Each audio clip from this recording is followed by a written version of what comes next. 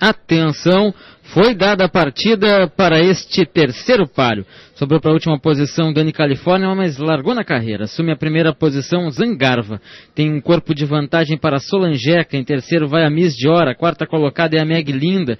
Depois vai a número 1 um de Blue de Torrente, superada por fora pela Dani Califórnia, que já é a quarta. Estão na altura dos últimos mil, com a Zangarva número meia dúzia mandando no páreo. Pequena vantagem para Miss Dior. Em terceiro vai a Solangeca, atacada e superada pela Dani Califórnia.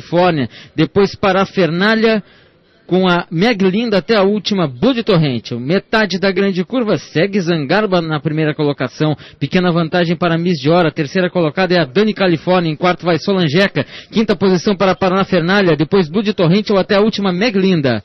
Terminam o contorno da grande curva, entram pela reta final, estão a 500 metros do vencedor deste terceiro páreo. Boa passagem para Solangeca, que de golpe assumiu a primeira posição, vai tirando um corpo de vantagem para Miss Dior, passando para a segunda, que é aberto, vem a Dani Califórnia ganhando terreno. Últimos 300, Solangeca por junto à cerca interna tem pequena vantagem para Dani Califórnia aqui por fora. Dani Califórnia e Solangeca brigam pela primeira colocação, a terceira colocada é a Parafernália, estão na altura dos últimos 200. Dani Califórnia Folgou na frente, um corpo, dois, três de vantagem para Parafernália, passando para a segunda. A terceira colocada é a Meg Linda, poucos metros, firme na ponta. Número 4 de Dani Califórnia, cruza o disco final.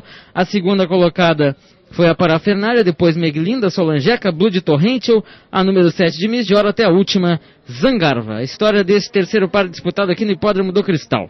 Vitória de Dani Califórnia com a Dailton Nascimento. Aí está ela cruzando o disco. Dois corpos de vantagem para a parafernália número 3. Completando a trifeta número 5 de Meg Linda. Quarta posição para Solangeca número 2.